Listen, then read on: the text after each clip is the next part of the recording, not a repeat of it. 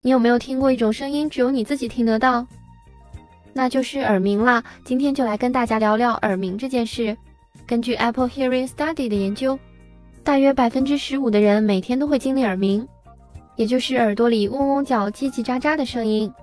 这个比例可不小，而且随着年龄增长，发生耳鸣的几率也会越高。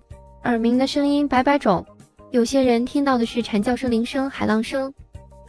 也有人听到的是火车声、工地声，甚至是人声。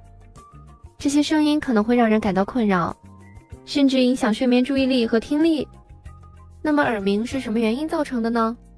目前还没有确切的答案，但可能跟以下因素有关。研究发现，耳鸣的主要原因是噪音创伤，就是长期暴露在大噪音中；其次是压力。大多数人将耳鸣描述为纯音或白噪音，比如纯音像是小鸟叫声。高频声音，而白噪音可能像静电噪声或蟋蟀声。Apple 听力研究是 iPhone 研究 App 中三个重要的公卫研究之一，从2019年开始就持续进行。这项研究与密西根大学合作，收集了约四亿小时的环境声音数据，来分析声音暴露如何影响听力和健康。